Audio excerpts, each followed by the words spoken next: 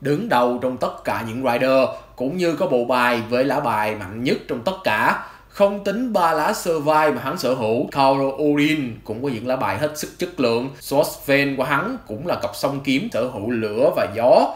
Cùng với đó là tấm khiên bất hoại từ Garven. Tất cả chỉ là làm nền cho lá của vị vua Odin, kẻ cai trị thời gian.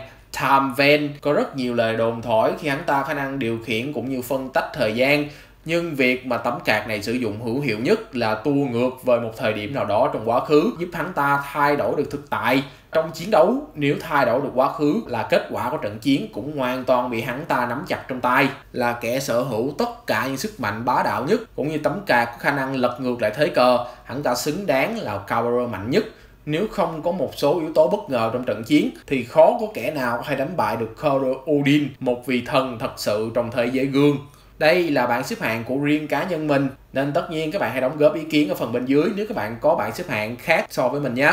Và mình chỉ mới xem lại câu Ryuki dạo thời gian gần đây nên không tránh khỏi những chi tiết có thể bị bỏ sót. Các bạn cũng hãy comment để góp ý cho video của mình nhé.